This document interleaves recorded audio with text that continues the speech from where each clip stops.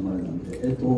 私がですね今日皆さんお伝えしたいのは私がですねさっきの教育いろいろまあ受けてきた中でなんでこうなってんだろうなっていうちょっと疑問があってですね最近ちょっとそれがまあクリアになったっていうのがあってちょっとお話したいなと思ってます。で多分事実型のマネジメント変えていかないと、まあ、日本はですね世界から多分日本の中でもそうでしょうけど、まあ、世界から淘汰されていくんじゃないかなっていう危機感があります。でまあ、いろいろこう研修受けたりいろんなものに出させていただいた中でですねなんか私も研修会さんとお付き合いしたりもするんですけどなんかですね結局いろんなものを受けても変わ変わらないんですね組織が。でこれは私のこれ実際経験でですね、まあ、富士通の子会社にいた時にですね人材開発部署やってて、まあ、1年間で2800万ぐらいこうつぎ込んでですねいろんな研修をやったんですよ。やったんだけど何も変わらないんですよ。砂に水まくみたいな気分になって。これ何なんだろうこれは世の中これいっぱいお金使ってるのいろんな研修会社とかですねに対してどうなってるんだっていう話なんですね。でこれまあ僕なりのこれはまあ個人的見解でまあ見ていくんですけど、まあ、流行り廃りの教育っていうのがですね、まあ、教育会社の思うつもになってるんじゃないかという話も一つあります。で研修会社っていうのは効果をがないのに知らずにやってる会社とですね実際効果がないと分かっててやってる会社なんです。でこの辺が2つのパターンがあって、まあ、結果的にまあ生かさず殺さずみたいな状態になってるんじゃないかというですね、まあ、ちょっと言葉があれですけど。結局研修会社の企業ですから売上至上主義です。なのでその日本がどう変わろうが別に関係ないと。でとにかく売り上げが上がればいいんだっていうところがあって、まあ、とにかく売れるものを売っていきましょうみたいな話になってきてこの売りやすいってなるとですね知識要求を出すという話あと短期間でできるっていうようなですね、まあ、こういう戦略に出てくるわけですよ。それに我々はさっき引っかかって2800万払ったわけですけど、まあ、そういったまあ教えることがで講師の方もですね教えることが好きで、まあ、会社から取りに受けた通りにまあ時間なり限りを暮らすと。でさっきのあの人間系って話になってた時にですねその人間系ってなると、まあ、話がもうちょっと深くなってきてですねただ方法論さ教えないって話じゃないですよね。生き方みたいな話が絡んできます。じゃあ誰がその生き方を話すんだっていう話になってきますから講師の質っていうのも変わってきます。でそれがですねトヨタ行った時にやっぱ学んだのはトヨタの OJT でですね。やっぱりその先輩なりそういった方たちがそういう経験値を話してくれるんですね。これはまあ生きた学問っていう話になってきますけど。で3つこれ、まあ、発見したなっていうか、まあ、僕の中で思ってるんですけど1つが心理学です。で先ほどちょっとまあ後で話しますけど心理学がベースになってるっていうこと、まあ、いわゆるこれあの技術系の話は別ですよ。別技術系の話は別に置いといたとして、まあ、ヒューマン系ですね。であと知識教育さっきの知識、まあ、いわゆる心理学ってこうですよねみたいな話の話がこう入ってきてる場合。あと短期間ですね。これ現場から反発されるので短期間で教育やってくれって言われるわけですよ。っていうことをいろいろ考えた時に、まあ、どうなんだろうと。これ皆さん多分薄々思ってると思います。で例えばこれ、まあ、リクルートマネジメントソリューションズのこれ別に否定してるわけじゃないんですけどあのカタカナが多いですよねこれ。で人材育成研修っていうお役立ち情報っていう用語集って書いてあるんですけど、まあ、カタカナが多い。とにかく心理学っていうところの学問まあ心理学という学問を否定してるわけじゃなくて心理学という学問って非常に重要なんです。ところがそれがですねそのままこう持ってこられてそれを今度は対策いわゆる人の育成のところでもそのまま持ってきてるんでこれちょっとどうなんだろうかということです。だから心理学自体は、まあ、僕は否定してなくてこれがあるからこそ逆に、まあ、人間ってねまあ、なんでこう行動するのかっていうその原理を知るっていうのが非常に重要なことになってるんですけどこの扱い方が良くないです。例えば今の原因を知りますと、まあ、人ってこう動きますよねということの原理が分かってくれば今度その人の原理が分かればですね。これを扱う方も分かってきます。そうするとこういう言い方をしたら人間って喜ぶよこういう言い方をしたらこの人こういう行動するよねっていう、まあ、いわゆるマインドコントロールみたいな話が出てくるんですね。でこれはですねあの、まあ、非常に今若い人たちのところにもしかしたら横行している可能性があって非常にその下が書いてある人間力とか、まあ、人間性人望みたいな話ですね。さっきのティムさんに言われた知行合一みたいな話が出てきますけどそういった人の行動をとるどういう行動を自分が示すかっていう話じゃなくてどういう言葉を語りかけるかっていうことが、重要視されてくるという話ですね。だからあの、まあ、ある意味人から見るとですねああの人私のことを褒めてくれたとあの人はいい人だみたいな話になってくるわけですそうすると本当に人間を見る目とか人間ってどういうところで評価していかないといけないのかっていうところがですねだんだんだんだんこう人間を見る目がなくなってきちゃってるんじゃないかというところがあります。なので僕は昔はあの若い頃上なんです上で育ってきてで豊田さんいて下に来たっていう状態になっててああこういうことなんだなということがなんかこう分かった気がします。ただ自分自身がですねさあできてるのかっていうとなかなかできてない。だから人生一周終了だって話になりますけど、まあ、この中でですねこの生きがいっていう言葉があります。これあの英語にないんですね生きがいって。で改善もないんですよ。改善インプルメントって言われてますけどインプルメント正しい訳じゃないので。そういった意味だと日本語のコンテクストって非常にやっぱり高いわけですよ。でそれをあの低いローレベルのコンテクストで話し始めるんだから結局その高いレベルのいいところに抜け落ちちゃうっていうところがあって例えば志とか謙虚感謝信念みたいな今日大教授よく言われてますけどこれ整理整頓でもそうですよ。整理整頓の深さってすごいあるんですよ。だからその整理って捨てることまあその捨てるに関してもですねやっぱ自分が持ってて大事にしたいものっていっぱいあるんだけど捨てる勇気を持つみたいな話とか。で整理整頓から本来の人間性を高めるというところに来ていて実はそういう深いところが伝わっていないっていうのはよくあります。なのでその一般的なですね研修これ1日2日で、まあ、知識研修やるわけですけど本来右上のところに近い状態に持っていくっていうことが非常に重要なのかなと思ってます。あのトヨタ生産方式って本を皆さんあの読まれた方もいるかと思いますけどあの帯のところに何て書いてあるかっていう土着の文化風土あの思想哲学って書いてあるんですね。そもそも。だからトヨタ生産方式って方法論じゃなくて思想哲学なんですよある意味。だからそういったところに行って人間ってやっぱり考えるのが一番楽しいっていうのがあって覚えるんじゃなくて知識よくやりますから新たなこと知ったっていうのでそれで満足することありますけど本来継続してあの行くためにはですね知識ではなくてやっぱ考え続ける、まあ、哲学ですね。いうような部分があるとやっぱり人間的に成長したなっていうふうに思えるんじゃないかなと思うんですね。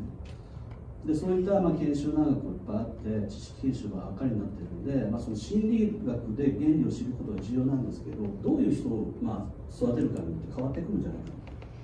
でもし会社がですね本当に人間性を高めるとか、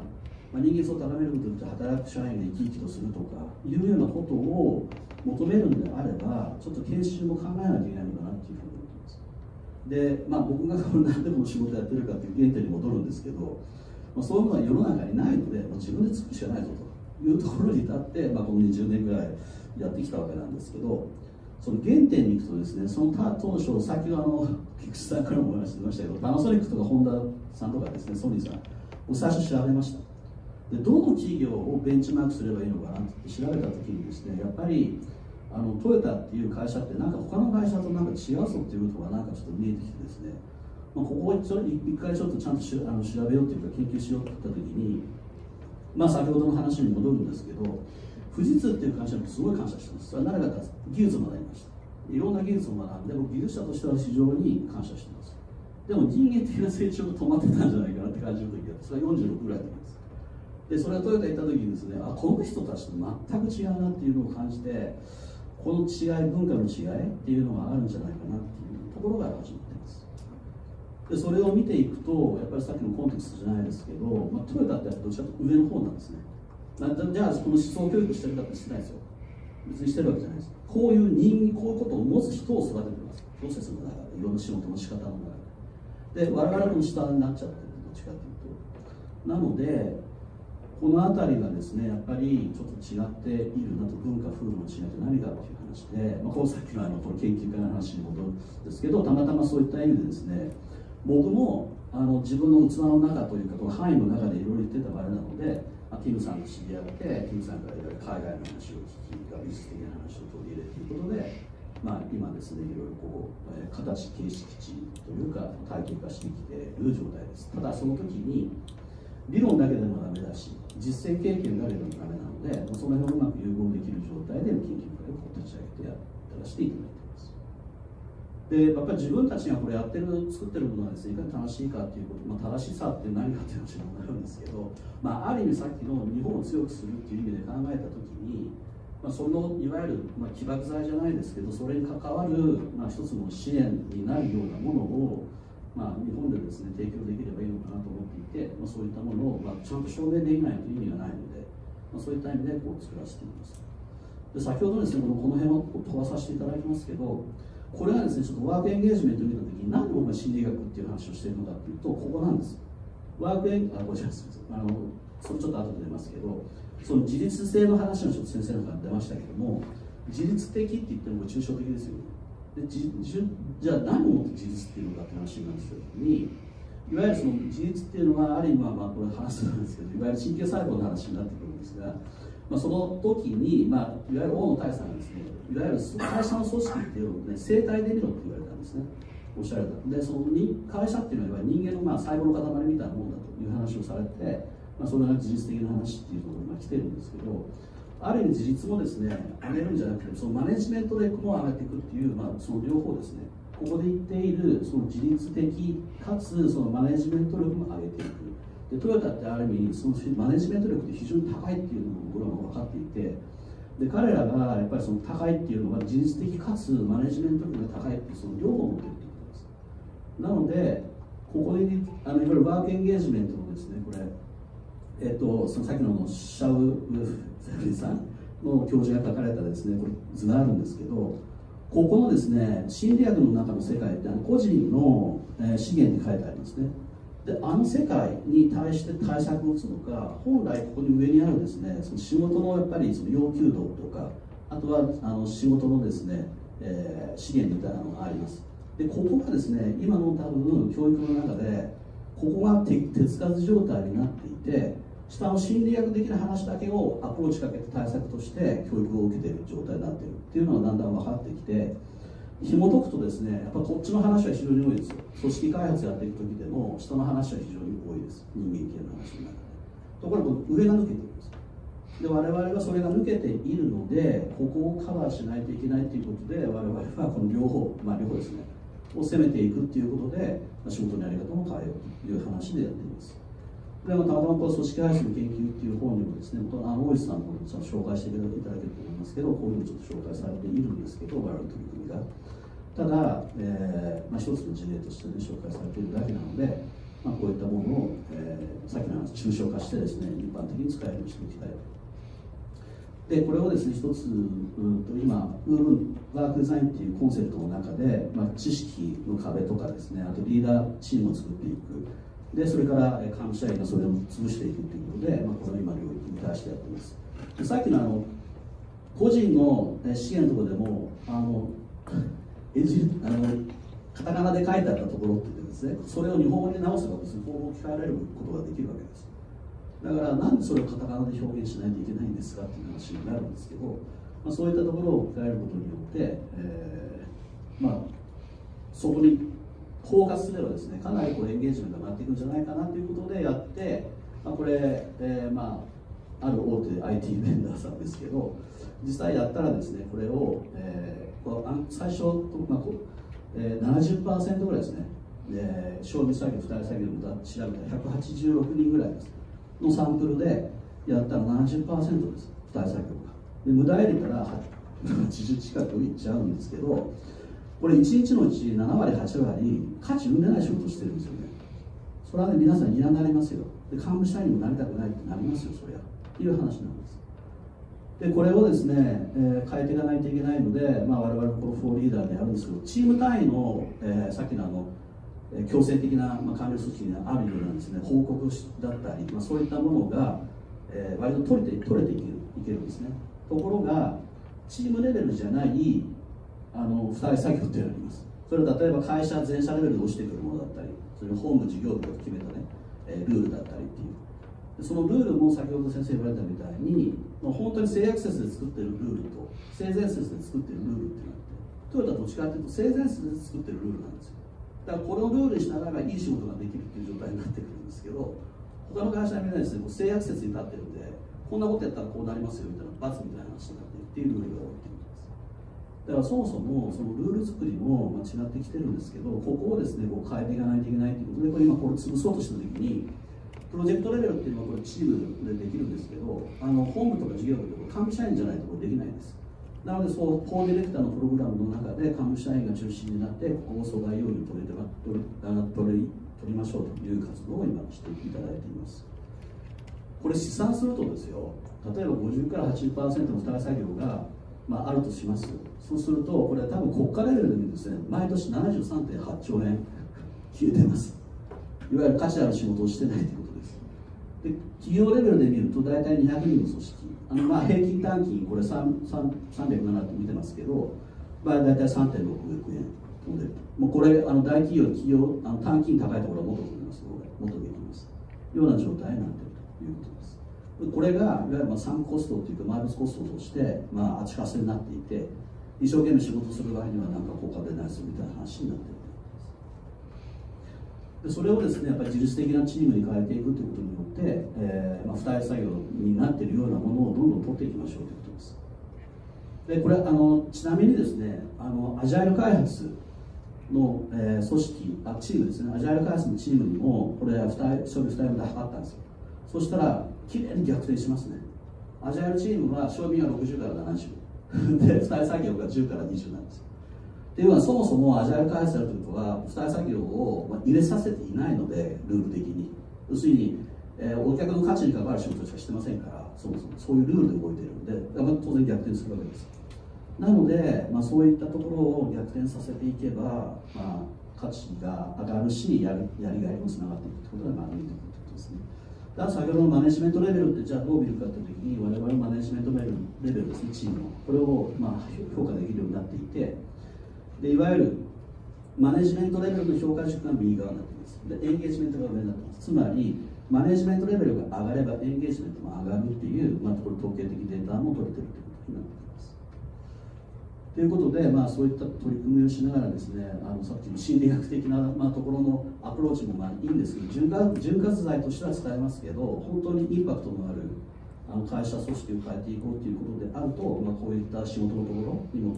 手をつけていくというかメス入れないと、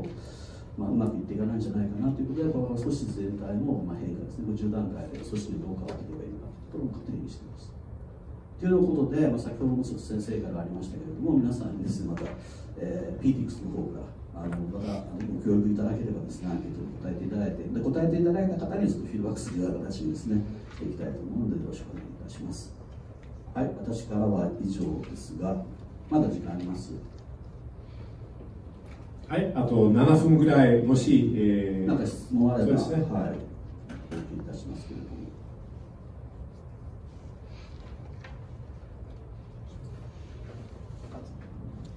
勝さんか。それ、屋台の人だったんで。いつも話してるからいいかな。あ、はい。えあの私はあの元改善塾に行ったこともありますしあの研究会の方にも参加してるので、まあ、そこら辺はあのさっき奥澤先生の話もあの武さんの話もあの、まあ、復習でとして聞いたんですけどちょっとあのお聞きしたいことが一つありまして、まあ、富士通とかでも、まあ、パーパスというものがあって、まあ、パーパス経営というものがあの、まあ、結構あの流行ってますけど、まあ、そういうものっていうのが自立型の組織のあの形成に役に立つようなことっていうのは高木先生の面から見て、どう思われますか？あのパーパスも、まあ、目的じゃないですか、まあ、だからその目的に向かっていこうぜっていうある意味、まあ、旗を立てるっていう意味ではすごいいいと思うんですけど先ほどちょっと議論したんですけど生き方ですよね。そこに行くためにいかにコストをかけずに行くかなんですよ。でトヨタでいう目的と狙いって言われるんですけど目的と狙いの違いなんか高木さん言ってみようって言われるんですよ。わかります？皆さん目的と狙いの違いって。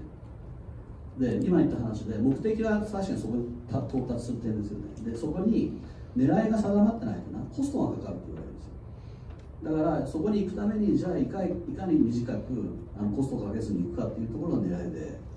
でその狙いを定めるためには共通の価値観の原理原則とトヨタ言ってますけどそれがねやっぱり他の企業にやっぱりない。だからそれが、まあ、さっきの OS ですね。あの木さん言われてましたけど OS, OS が今バラバラなんですよ。あの企業の中でも。要するにある幹部社員についた人はこの OS ある幹部社員についた人はその人の OS みたいな。みんなバラバラですね仕事のやり方が。ところが例えばその共通 OS になっていてで共通 OS の中でアップデートをかけてくるんであのそれはね早いっていうかもうコストかからない状態になってるんじゃないかなと思って。いて多分パーパスだけだと変わらないんじゃないかって思ってますパスだけじゃなくて、まあ、そちらもないと両輪にならないってことですね。そうですね。狙いとあの、まあ、目的と狙いみたいな感じ。はい、わかりました。ありがとうございます。あと質問もう一つラストチャンス。ないですか？わかりました。じゃあ、はい、えー、先生あの最後ですね。何かこうメッセージみたいなのあれば皆さんねこの場集まりいただいてあの日本をみんなで変えていきましょうという これしかないですいいいメッセージですね。ありがとうございます。はい、ありがとうございます。はい、皆さんありがとうございました。